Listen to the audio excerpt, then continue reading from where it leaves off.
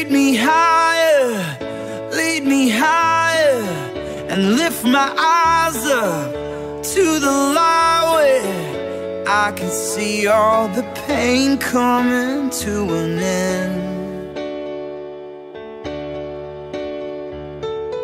Oh, lead me higher into your fire, burn away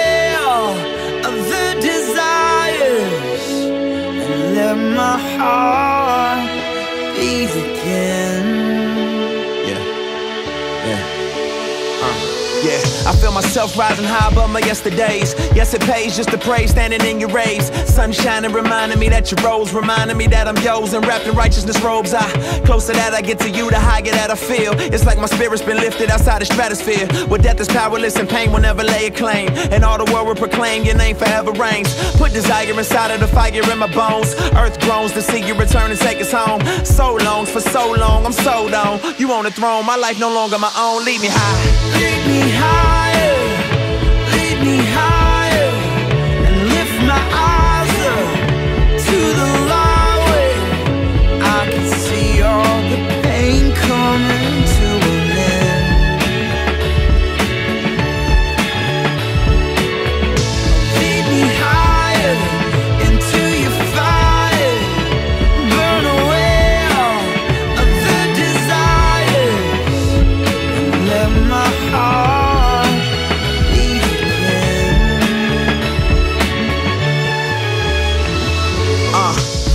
Morning. I'm up too early. I'm up too high. The sky below me, like I'm sitting in a plane, feeling strange. Can't explain how I get to experience these things. Been to plenty cities, spent pretty pennies and ate plenty. Fo, do a show, I come home and feel empty. No, it's never me. I'm glad to say I've been changed like presidential campaigns. Used to wake up in the morning pursuing the wrong things. Now I wake up in the morning pursuing the Lord's name. Take me higher than the highest. Show my hope and my desire. Lifting me up high despite this gravity. Lead me higher. Lead me higher, lift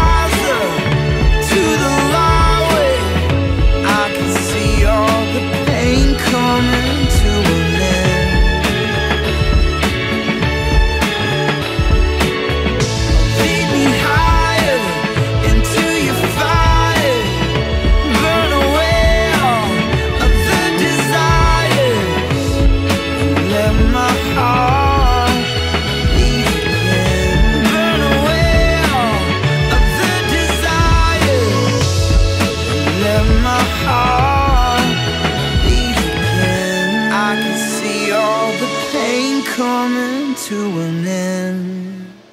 So, kicking off part two of this week's Defining Tracks with Reverend Calum Stark. That was The Lecrae and 10th Avenue North with Higher. Calum, why have you chosen this song this week?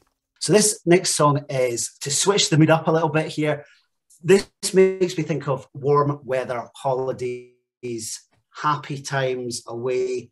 This is a song that I never would have chosen had it not been that I had children. My eldest son, you kind of get interested in what your kids are interested in. He kind of likes this rap music stuff that I never would have had any interest in. So anyway, that led me to find out about Lecrae. Uh, this is a song with Lecrae. I'd known the band 10th Avenue, the Avenue North, and this is them collaborating. So we've got kind of the, the singing and the rapping coming together, and they come together in a really uplifting way. And it does remind me of those warm weather holidays of going out in the morning for a wee run, listening to this song, and thinking, you know what, I'm going to spend a little bit of time today in that book that I'm reading, spending time in that wee Bible study, and just that real feeling of kind of joy and feeling uplifted. So let's let's jump forward then. So how old would you say you were when you when you took that that jump for yourself? Yeah, so that that, that comes when I'm age 16. So I managed to park the, the kind of Christian stuff for a while, and then what happens is a, a new boy comes to our school. He's in the rugby team, and he becomes the best player on the team, uh, and I become good mates with him. And guess what? Here's another Christian, and he's saying the same stuff that that other guy had said. And I'm having again lots of conversations. I'm finding it harder to park it, but we get through the next couple of years. So this is me 15 turning 16. So at age 16, still rugby daft. My mum says to me, Calum, do you want to come to Murrayfield? Now, I didn't need to listen to anything else. I was like, Murrayfield, yep, count me in. Missed the bit that said to listen to a preacher called Billy Graham. So my friend and I go with my mum, who drives us to Murrayfield. Now, I did know by this stage that we were going to hear some guy, so I wasn't quite as interested, but you know, happy to, to go along. So we arrive in the stadium, which you know, happy to go to Murrayfield, and immediately I can spot it. There's the Christian guys right to the front. They've got their Bibles and everything out. They look like they prepared. They look like they know what they're coming to. And then at the back, it looked like football supporters. These guys didn't look like rugby fans, and they're banging the seats. And there's like Scotland and all this kind of stuff. And I'm thinking, right, I don't want to sit at the back with those guys. They're a bit scary. Not too sure about these Christian guys either. Let's go for the middle seats. So we went to see Billy Graham, and I was very much going along as, a, as an observer. Before we, we find out how that shaped you, one thing I want to touch on, you've mentioned sport was a huge part of it. How important then throughout your faith journey has sport been of almost weaving it together and God bringing people into into your life through sport? Yeah, I mean, both of those friends were were actually two pretty sporty guys. The, the, the, the, the second guy was a very good rugby player, and the other guy was just one of these natural sportsmen. So I guess that, that, the that was the place where friendships were formed and, and, that's kind of what we're like as men sometimes isn't it? We make friendships through activity. So for me i suppose sport was that activity that gave me those two crucial friendships that kind of shook up my belief system. So yeah i think in terms of building relationships that the sport played a role within that. Yeah that's that's so important of uh, i suppose how we share a faith but we can dive into that later on. But so you mentioned that you were at the Billy Graham event at Murrayfield. How did that change everything for you? Yeah. So what happened at Billy Graham was I was kind of thinking, how's this thing going to pan out? I, I have a distinct memory of the band singing "Shine Jesus Shine," and they seemed to be quite enjoying it. I, I wasn't too sure, but I, I remember that song, and I wasn't sure how the whole event was going to play out, to be honest, because the guys at the back, you know, shine Jesus shine from the front, but they're still banging their chairs and stuff. And then Billy Graham gets up to speak, and it was just there was just a kind of silence came across everyone, and I suddenly moved from being a kind of outside observer to it kind of feels like he's speaking to me, and the conviction that I really got there was I'm not the good guy I thought I was. So I, I, my, my Christianity that I held was really founded on the fact that I lived a respectable life.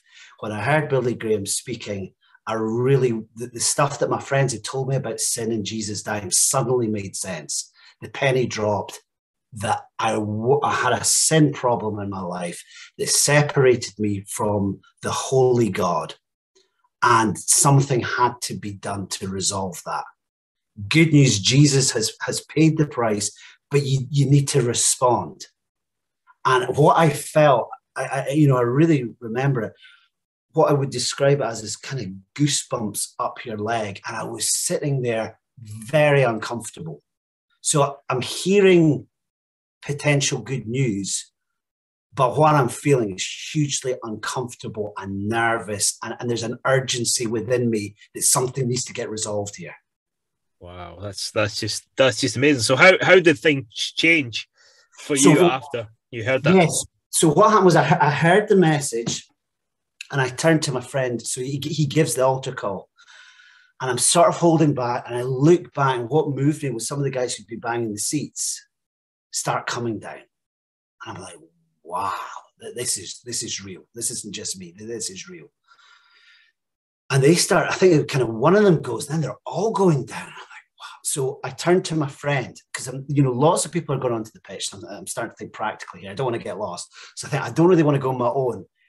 James, you, do you want to come with me? And I'm expecting him to say yes. And he turns around and looks at me like I'm nuts. And is like, no way. So then I sit for a second, I try and I think, what's plan B? So I turn and say to my mum, so I say, Mum, will we go down? And she says, No, no, no, we've got to get home. Look at all that and the traffic from here. We've got to, we've got to leave now. So I'm like, oh, dear. So I've heard the message. I'm on the tip of responding. Now, my understanding wasn't such that I could go and, and pray on my own at home. I didn't have that understanding. I felt I needed to do something. I wasn't really sure what it was. So it was left unresolved for me for a week. Wow. Okay. That's so. So what what did you do with that unresolved questioning? I suppose. So I came back to my rugby playing friend and I said, "Listen, I, I went to that Billy Graham thing, by the way." And he goes, "That's good. We, we've been praying for you. Do you want to come to church on Sunday?" And I said, "Yeah, I, I definitely do." Out of interest, did you go down? No, I didn't go forward. And we kind of left the conversation there. He said, "Right, okay, let, let's go to church on Sunday." So we went along to Charlotte Chapel in Edinburgh, and they were fully switched on to the whole Billy Graham uh, mission. So they specifically brought an evangelist to church that Sunday. He was a South African guy. Church was packed, and again, I had the same sensation. Here's this guy speaking. I'm 16 years old. I might not have a, a very good attention set, uh, but I'm all ears. And it felt like he was sitting in my front room speaking to me. And he was talking about celebrities and he was saying how they've, now, you know, they've found fame and fortune, but without faith, that they're, they're broken individuals. And he talked and he gave us all these kind of quotes. And then he brings it to her and he says, listen, you know, an opportunity to respond. And this was a bit of a different response. He couldn't, you know, ask people to come forward. He just said, you know, bow your heads. And if you want to join in this prayer, please join in prayer. And actually, as a symbol that, you're on board with this, raise your hand. And again, I'm sort of, but I'm feeling the urgency again. And, and, you know, that the hand straight up. And that was really for me, I suppose the, the faith was there, but that was the kind of responding to it. So touching on that, how important? Because I remember when um, Will Graham came to Falkirk, they, they were really involved in getting the local churches on board as well, so that there was the support. How important was that support network then for your faith and your faith journey to develop? Yeah, so this is me age 16, 17, kind of coming into my last year of school. So it was a little bit sketchy. So what we did was we kind of took ourselves away from the local church and we went the oldest guy was driving by then. So we went to Charlotte Chapel as young guys, but we were kind of on the fringes because a lot of the, the young guys had grown up there and had sort of formed a group. So we were coming along, engaging, and, and you're right, there was support there, but we kind of knew we were going off to university. So we were sort of keeping it a, a, a, bit of a distance. We're sort of involved. We would go on Sundays, hear, hear the sermons and be encouraged in that way, but we knew we were going off to different places. And that was really when I tapped into the Christian Union when I went to university. Yeah, how, how important then was the Christian Union then? Um, I'm a big advocate of Christian unions. It was really important for me in my walk. But how important was the Christian Union for you in developing deeper then? It was absolutely huge because what happened was that at school, I had two other guys that were kind of of the faith, and we were in the rugby team together. We would have a wee prayer on the pitch, and, and we'd go about. But it was really hard. We were the only kind of guys. The other people that were Christians there, you know, being a kind of young person, I was like, well, I, I don't have anything in common with them. You know, what happens is go to university, join the Christian Union, and find people that I would naturally have been friends with were Christians. And this, I was just like, oh, that's great. And then what I actually found is as I grew in faith and went to my whole group, and so we had the small group and we had the big Christian Union group as well, that actually the big lesson I think God really taught me at the beginning there was that your faith brings you together with people that you don't have anything in common with. So I started in my own hall group to be friendly with people that I never would have been friendly out with, but I actually found that there was a deep friendship there that's formed through faith. So, so the Christian Union was absolutely vital for me. Our next song choice on this week's Define Tracks is from Jars of Clay. Calum, you've chosen uh, Call My Name. Why this song in particular? One of my favourite Christian bands is Jars of Clay. And in it, it says, Send me to the edge of the earth. Well, when I went into my first charge in ministry, when we were talking about giving up Edinburgh, God was calling us to give up Edinburgh, but we didn't quite realize where he was calling us to. And he was calling us to a place called Macduff, which is in the northeast of Scotland, right on the coast.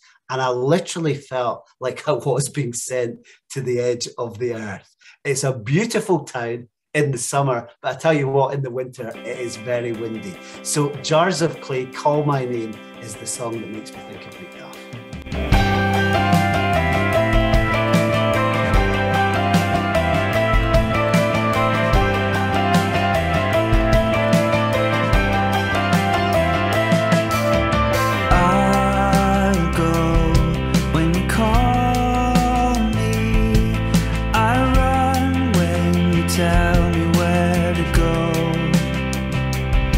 We are desert walkers under shaded clouds. Your fire shows there's more of you to know. Let our idols fail, vanity subside. We will see